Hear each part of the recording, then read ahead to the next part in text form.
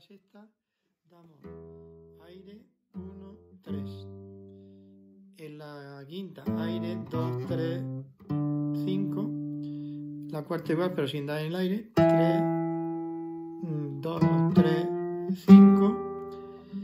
Aquí cambiamos el esquema. En la tercera damos 2, 4, 5. Ese mismo esquema pero corriendo 1, 3, 5, 6 en la segunda y en la primera. Aquí hay que hacer un arrastre.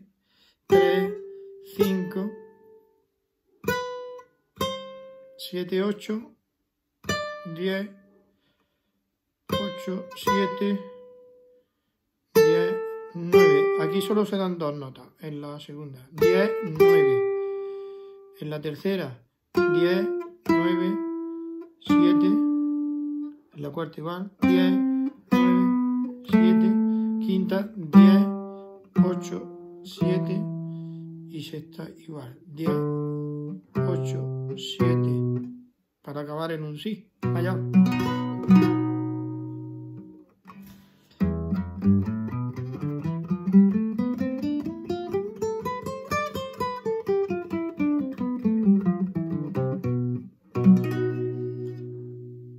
Eso es un picado por arriba, en tono de mi mayor, que acaba en el sí. Lo importante es que podéis ensayarlo por partes. Nunca. Esa nota está fuera de escala.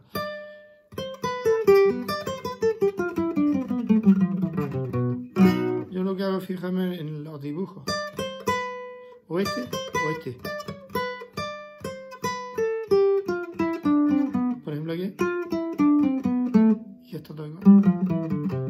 O sea que aquí lo que hacemos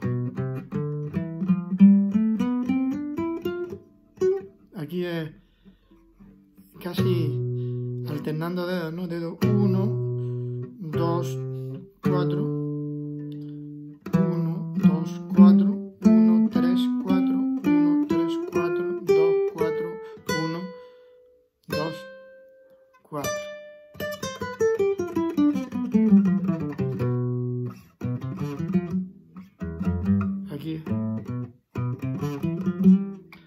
Dedo 1, 2, 4, 1, 2, 4, 1, 3, 4. Aquí 1, 3, 4, pero corriendo 1.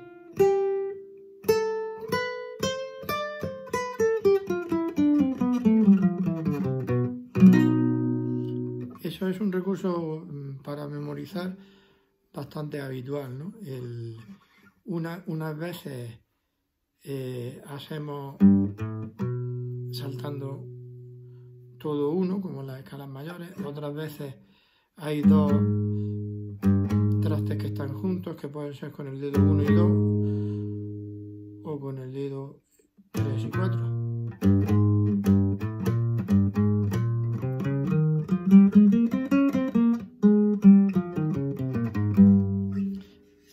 Y fijarse en, en esa figura para ir componiendo o memorizando escalas.